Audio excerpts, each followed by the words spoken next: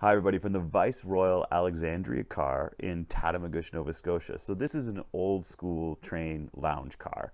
And I want to tell a story from a much newer version that happened about seven years ago when I was taking a trip across Canada. And I didn't want to talk to anybody on this trip. I was having kind of a low time. So I disappeared to the lounge car during dinner, figuring it would mostly be empty. And it was. And I'm reading away, happy to not be bothered by anybody. And then about five minutes after I start reading, this little girl comes in to the car with her arms outstretched. She does three laps of the car and then disappears. And this happens two or three more times. And I realized she's just running up and down the train doing laps. And finally she comes and she sits in the seat right next to me.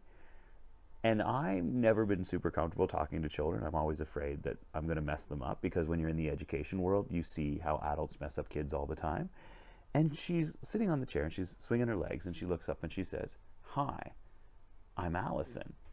And I kind of looked at her quickly and said, Hi, Allison, I'm Drew. And uh, she says, What are you reading? And I said, Oh, it's just a book for work. And her eyes get really big and she goes, You get to read books for work? My dad has to go to an office. Which is one of those cool moments where you realize that your job is really cool.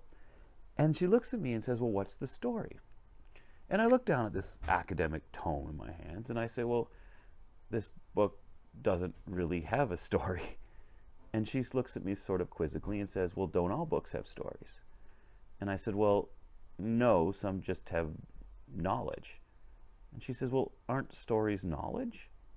And this is the part where I didn't want to mess her up, right? Because I, I, don't want her going out there into the world thinking that stories aren't knowledge. So I said, Yes, as a matter of fact, one of my friends once told me that the story is the basic unit of human understanding.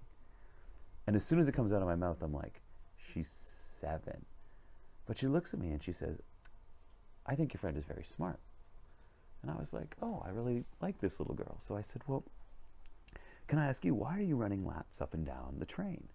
And she says, oh, this happens all the time. And I go, what do you mean? She goes, my parents are always telling me that my spirit is too big for most of the rooms that I'm in.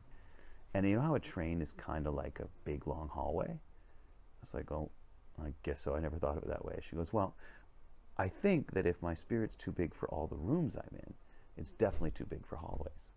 But I think anytime I'm stuck somewhere that's not big enough for me, I run. Because if you run, you always remind yourself that you're free. And I was like, that's such a cool way of looking at it. It was kind of like this really inspiring thing because kids can say it without sounding pretentious or like they're trying to sound smart.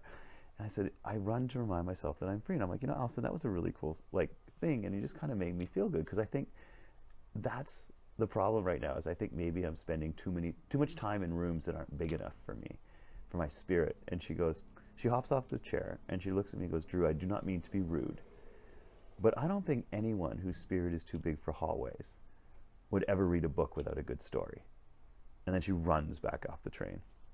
And I do not know if you've ever been schooled by a seven year old, but I realize now when I look back that there, I don't know the key to happiness, but I think one of the keys to unhappiness is when a gap forms between how you conceive of yourself and how you are actually behaving, and you become aware of that gap.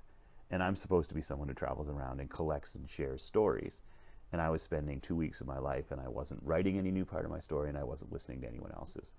And I always really kind of liked that moment where I got reminded by a seven year old that anytime you can start to detect a gap occurring between how you conceive of yourself and how you're actually behaving, that's something that you either have to change how you conceive yourself or change how you're behaving and make sure that sad unhappiness is always living in that particular gap.